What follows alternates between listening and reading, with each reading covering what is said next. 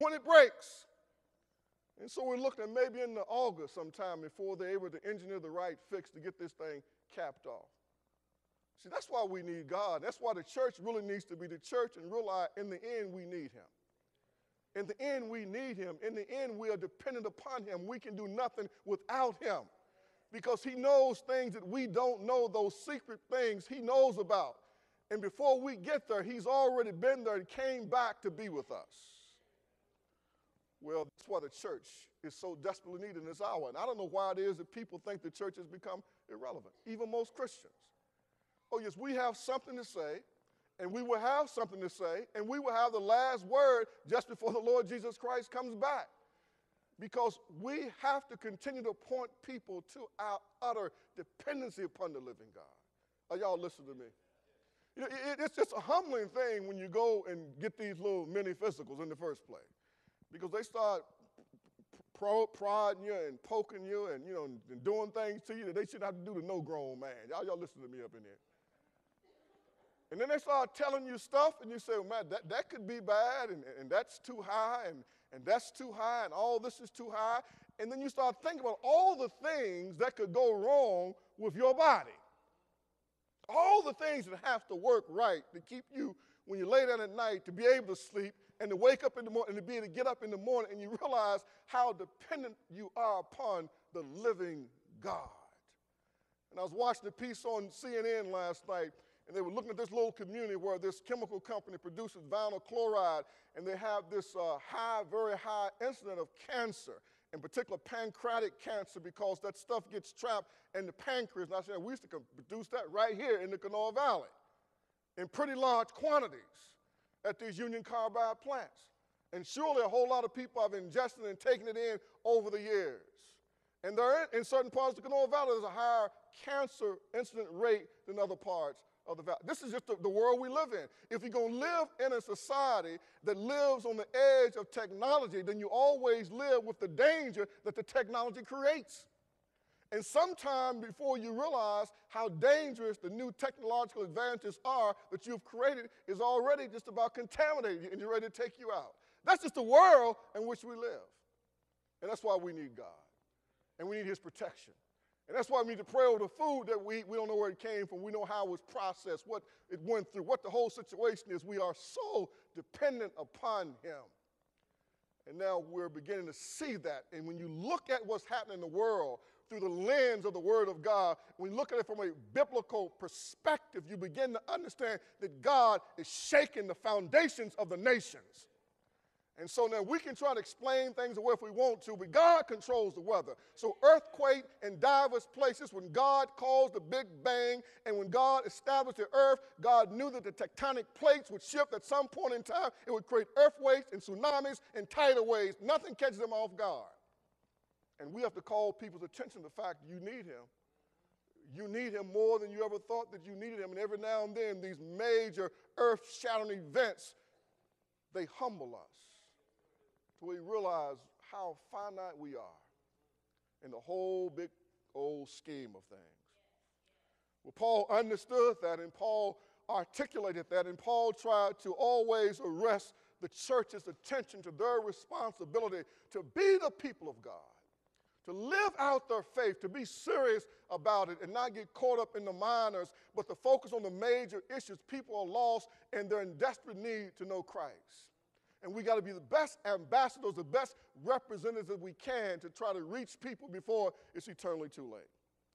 So, Ephesians chapter 4, Paul writes to the church at Ephesus, a church that was in the midst of one of the most decadent civilizations that ever existed the city of Ephesus, the home to the goddess or the temple Diana or Artemis, where prostitution was a part of the whole worship of uh, Artemis and Diana as the temple prostitutes were there. And people thought the higher they went into ex, uh, to sexual ecstasy and arousal, the deeper they could commune with the gods. It was that type of, of degrading, debasing lifestyle the church of Ephesus emerged. And so Paul does not write to them and say, well, y'all got to go from picket and y'all got to go over here and protest and y'all got to go over here and file this. No, he said, you be the people of God. And some people are going to go to hell because they won't repent and believe the gospel.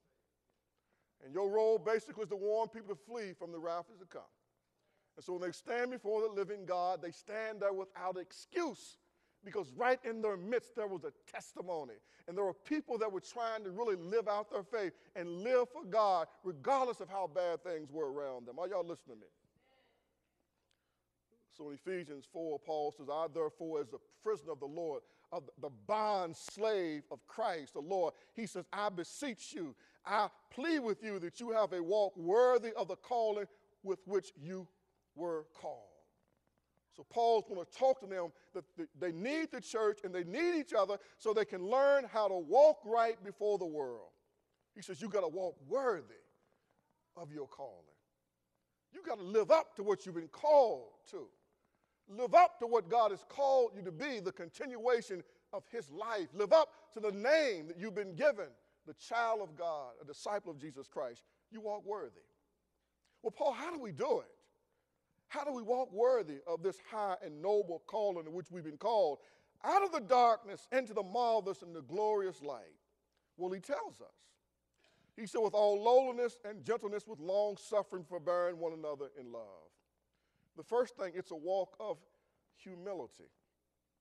With all lowliness, it's a walk of humility. Once we understand the grandeur and the majesty of our call, we understand how awe-inspiring our call to salvation is. It should not cause us to become more arrogant, but to become more humble. He's called us, not because we deserved it. He found us even though we weren't even looking for him and he saved us. And so we walk in humility, with all lowliness, with humility, and with, with, with, with gentleness. And gentleness comes from knowing that you have power. If you know that you have power, you don't have to be aggressive because you know you got it and you have it and you can discharge it and you can exercise it. So, so you walk with humility and you walk with gentleness. And if you know that you have power, then it leads you to be more long suffering. It means to bear up, bearing with one another in love. It's long suffering, it's more than patience. When patience runs out, long suffering kicks in. it's more than patience. Long suffering says they ought to know how to know more, they ought to do better, they ought to live better, they ought to know better, but they aren't doing no better. I'm still going to hang in there with them. That's long suffering. That's what loving mothers do. That's what big mamas and grandmamas do. They're long suffering. They bear for a long time. They're like the weebles. They wobble, they don't, they don't fall down. They, they, they bend, they don't break they have this spiritual elasticity. Their, their love it needs to be overloaded. Paul said, This is the worthy walk one of humility, lowliness, and gentleness, long suffering. We bear with each other because we're trying to help each other become better than when we found each other. Y'all listen to me? We're trying to help each other to become better than we were when we found each other. And so we bear with one another. That's what marriage is. Marriage is discovering that the person you thought you were marrying wasn't exactly the person you thought you were marrying. That's what marriage is. M- marriage is coming to realize that this person has a lot of issues and a lot of quirks and a lot of faults and a lot of problems, and they don't seem to be getting any better.